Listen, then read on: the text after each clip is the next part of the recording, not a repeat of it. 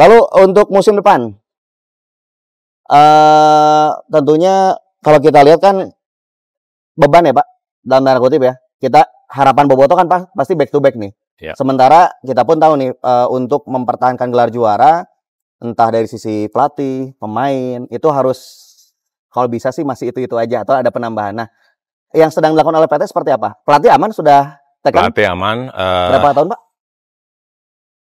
Uh, pelatih uh, dua tahun. Oh pelatih dua tahun. Uh, kemudian kalau secara kerangka tim itu tidak banyak perubahan sebenarnya. Karena uh, mayoritas dari pemain juga masih mempunyai kontrak. Oh. Jadi aman sih. Aman. Kalau pemain yang habis kontrak siapa aja, Pak? Ada lah nanti. nanti ditunggu aja. Betul. Tapi kabarnya ada pemain senior, Pak, jadi asisten pelatih itu masih rumor juga itu, rumor. Ya ditunggu aja pengumuman berikutnya. Jadi bisa dikatakan tapi yang sudah fix itu adalah pelatih aman ya, Pak. Karena banyak yang bilang jangan sampai Bojan Odak lepas. Tapi minta naik kontrak apa? Enggak, kontrak. aman, aman. Kontraknya aman. naik? Enggak, enggak, enggak. Enggak.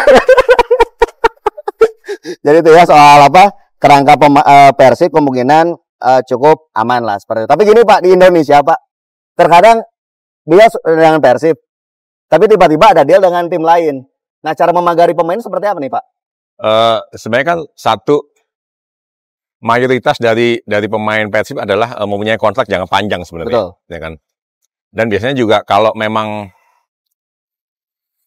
pemain-pemain uh, yang kita proyeksikan untuk kita uh, apa kita perpanjang kontraknya, hmm.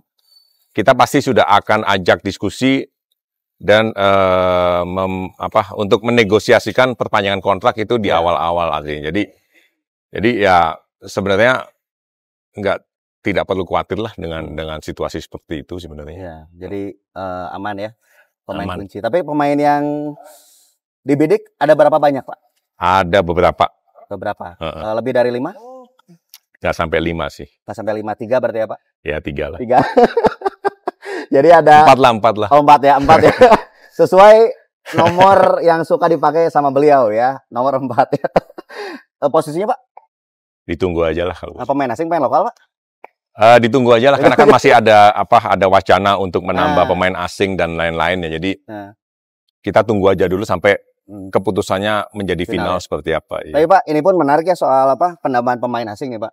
Ini kalau dari Pak Teddy sendiri ini mendukung atau gimana? Uh, Dilihat dari sisi ini kok Pak, financial tim juga kan? Iya plus minus sih sebenarnya sih. Ya. Tapi mungkin uh, kita tunggu lah karena kan uh, pada akhirnya kan keputusan tadi kan kita harus diskusikan dengan hmm. 8 17 klub yang lain kan. Terus kemudian dengan dengan pemangku kepentingan dalam hal ini PSSI dan LIB juga ya. Jadi ya akan terjadi suatu diskusi yang sehat di situ. Ya. Kemudian biasanya mungkin diambil kesepakatan bersama atas atas usulan-usulan uh, tersebut gitu.